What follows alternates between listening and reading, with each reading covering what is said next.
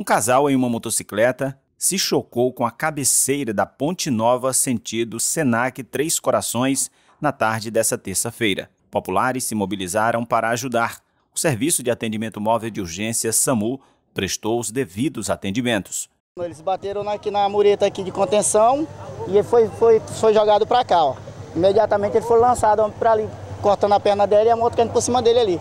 O homem identificado como Raimundo, que reside no bairro Salobro, teve escoriações e, ao ser encaminhado ao complexo hospitalar Gentil Filho, passou por sutura e foi liberado logo em seguida. Já a mulher, identificada como Edner Belchior da Silva, teve fratura exposta na perna, atendida pelo SAMU, foi levada ao complexo hospitalar Gentil Filho, onde passou pelo centro cirúrgico, foi operada e está sendo acompanhada pelos médicos do complexo hospitalar Gentil Filho.